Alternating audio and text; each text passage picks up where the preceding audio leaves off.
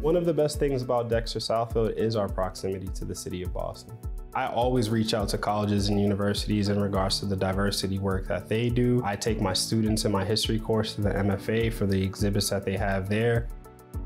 I took my senior fall composition class to Walden Pond for a guided tour of the city of Lowell as it related to uh, Thoreau and Jack Kerouac after reading the Dharma Bums for summer reading. Just today, we're studying the Boston Massacre in history class, which is amazing because we have the Boston Massacre site just a couple miles away from us.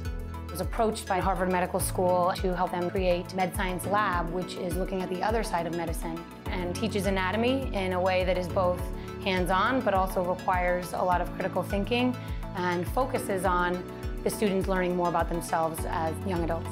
I come from the Harvard and Smithsonian Center for Astrophysics. Last year, we had one of our students going there for his internship, actually to be working with world-class astronomers. So the opportunity that the kids have to actually visit places like that is quite amazing. So there's different ways that we get to use the city and it's a huge help being right here and having it basically in our backyard.